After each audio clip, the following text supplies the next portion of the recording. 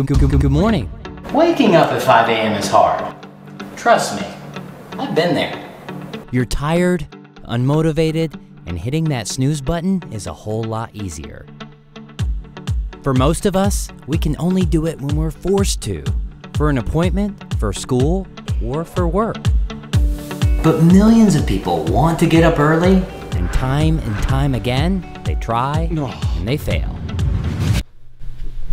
Well, today, I'm gonna reveal these six steps that will help you get up early, even if you failed in the past. The last one is my favorite. The secret is that it's not about when you wake up, but the time you actually go to bed. It's gonna be a whole lot harder to wake up at 5 a.m. if you stayed up until midnight binge watching shows on Netflix. So here's what you do Shift your bedtime 15 minutes earlier every day until you get to the time you want to get up at. Do this for a week, and you'll be getting up almost two hours earlier by the end of the week. getting up early won't happen if you don't sleep good. If you have an AC, set the thermostat between 60 and 67 degrees Fahrenheit. Studies show that a cool but not cold room helps you sleep much deeper. Then, make your room dark. Light leaking in will mess with your body's internal sleep clock that regulates your sleep cycles. By keeping it dark, you'll make sure you sleep much better. Do you spend time on your phone before going to bed? Don't feel bad. Most people do. But did you know that your screen emits blue light which kills a natural hormone that helps you sleep? It's true. It's called melatonin. Try reading a book instead. Not only will it help you become smarter, but it'll help you fall asleep much, much faster.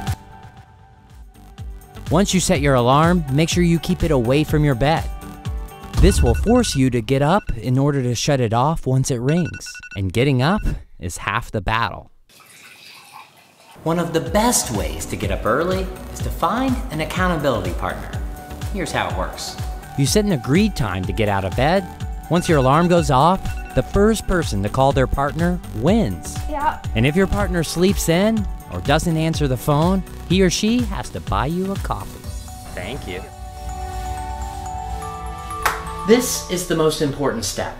Finding a good reason to get up at 5 a.m. in the morning not only makes it possible, it makes it necessary. You might want to wake up earlier so that you can journal, meditate, or just have some silence before the kids get up. Maybe you want to chase your dreams and work on a side hustle or a new business idea before work, or go on a run to kickstart your body before the day begins. No matter what it is, find your why and write it down. Because without a why, your brain will always default to sleeping in.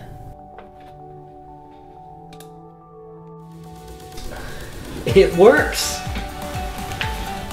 And while I can't say that waking up at 5 a.m. is the magic pill for success, riches, and perfect health, it is certainly going to provide an opportunity to be happier, healthier, and more productive.